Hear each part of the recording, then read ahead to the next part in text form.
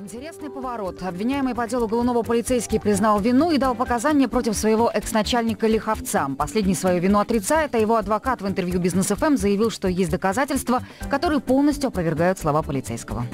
В случае необнаружения подкинуть. Бизнес ФМ стали известны подробности того, что якобы сказал один из фигурантов дела о провокации против журналиста Ивана Голунова, когда давал признательные показания. Ранее стало известно, что бывший полицейский Денис Коновалов на очной ставке заявил, что он подбросил журналисту наркотики по указанию своего бывшего начальника Игоря Лиховца. По крайней мере, об этом говорит адвокат Лиховца Алексей Ковришкин. Адвокат Ивана Голунова, в свою очередь, заявил, что не комментирует слова Ковришкина. Тему продолжит Иван Медведев. О том, что бывший полицейский Денис Коновалов признался в том, что он подкинул наркотики журналисту, пока известно лишь со слов адвоката другого экс-полицейского Игоря Лиховца. Получить подтверждение от представителя самого Дениса Коновалова пока невозможно. Юрист, представлявший его интересы ранее, вышел из дела после избрания всем фигурантам меры пресечения. Кто сейчас защищает Коновалова, широкой общественности неизвестно. Так или иначе, Алексей Ковришкин, адвокат Лиховца, которого Коновалов якобы обвинил в том, что именно он дал указание подбросить наркотики, в беседе с моей коллегой Марией Локотецкой рассказал о том, что именно было сказано во время очной ставки бывших полицейских, начальника Лиховца и подчиненного Коновалова. Коновалов дал показания на моего подзащитного Лиховца. А что говорит?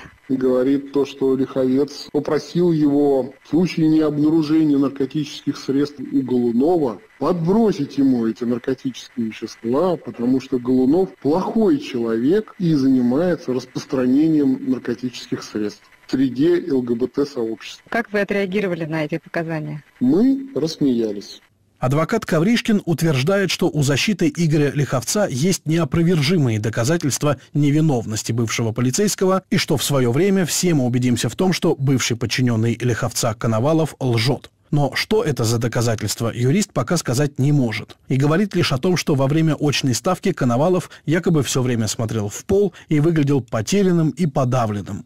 По словам Ковришкина, возможно, через свое признание Коновалов пытается пойти на сделку со следствием. И следующий фрагмент беседы моей коллеги Марии Локотецкой с Алексеем Ковришкиным хочется оставить без комментариев. Да, интересный поворот. Он вообще не интересный, потому что мы вообще ожидали такого, что кто-то вот из четверых людей возьмет да и расколется, пойдет на сделку со следствием в ожидании тех пряников, которые они обычно всем обещают. Потом, когда следствие эти пряники не дает, подзащитным, они очень сильно разочаровываются в этом. И иногда даже дают обратные показания.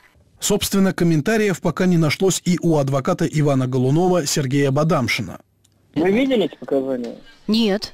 Я не видел. Ну, то есть вы сомневаетесь, что они в принципе есть? Я сейчас ничего не буду комментировать, и давайте пока вот, ну, у меня не будет конкретных фактов, то опираться на слова человека, который, ну, скажем так, может говорить неправду, у меня сейчас нет оснований. Иван Голунов на звонки редакции «Бизнес ФМ» в среду не отвечал. Ранее другой фигурант этого дела, Максим Умедбаев, признал вину частично, но только по эпизоду с превышением должностных полномочий. Он заявил, что нанес пощечину Ивану Голунову. Журналист же утверждает, что сотрудник дважды ударил его кулаком в висок. Всего по делу Голунова арестованы пятеро бывших полицейских. Им предъявлены обвинения по трем статьям. Превышение полномочий, фальсификация доказательств и незаконное приобретение и хранение наркотиков. В СИЗО они отправились 30 января. Наркотики Голунову подкинули прошлым летом. О возбуждении уголовного дела против пятерых полицейских Владимир Путин объявил на пресс-конференции 19 декабря. А само это дело было возбуждено ровно за день до пресс-конференции,